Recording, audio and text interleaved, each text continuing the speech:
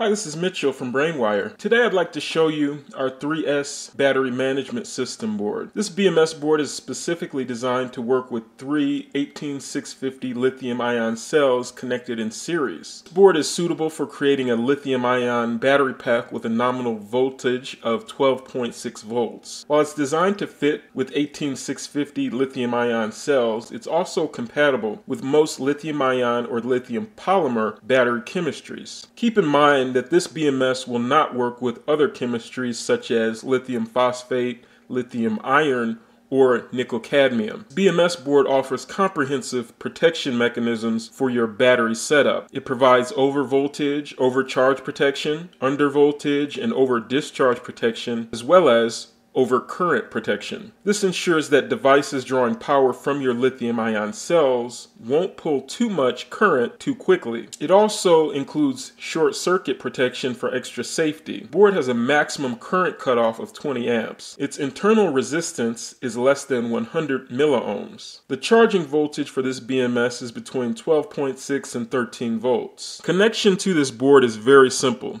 You have your primary positive and negative which you can draw power from and also charge from. Other than that, you have connectors spaced around the board which are very simple to connect. For zero volts, you connect that to the negative on your first battery cell. 4.2 volt connection here is between cell 1 and 2. 8.4 volts is between cell 2 and 3. And 12.6 volts is connected to positive of your third cell. With an effective life of over 30,000 hours, this BMS board is a reliable choice for managing your lithium battery pack.